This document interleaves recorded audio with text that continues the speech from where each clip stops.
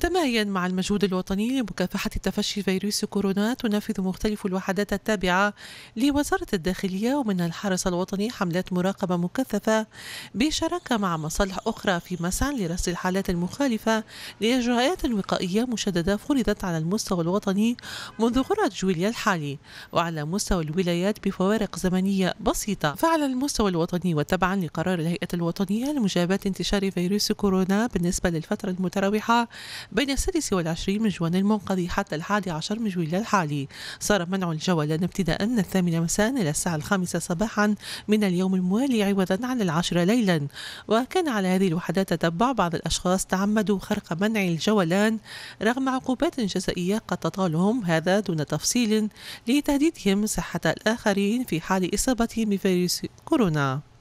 وكان على هذه الوحدات الأمنية ذاتها الوقوف على مستوى الولايات على التطبيق الصارم لمنع التنقل بين عدة مناطق خاصة منها المصنفة بؤرا للفيروس في ضوء السلطة الممنوحة للولاة لإعلان الحجر الشامل أو الموجه في ولاياتهم وأعلنت عدة ولايات بعد منع التنقل منها وإليها بسبب تطورات الوضع الوبائي ومنها ولاية تونس الكبرى وذلك منذ أربعة أيام كما أعلن ولاتها منع جميع التجمعات وتعليق كافة التظاهرات ومنع ارتياد دور العبادة لمدة 14 يوما حتى الأربعاء الرابع عشر من جويليا الحالي. هذا فضلا عن قرارات أخرى تصب في خانة كسر حلقات العدوى بالفيروس ما أمكن خاصة مع أرقام مفزعة عن الإصابات والوفيات وكذلك المتحورات الجديدة للفيروس.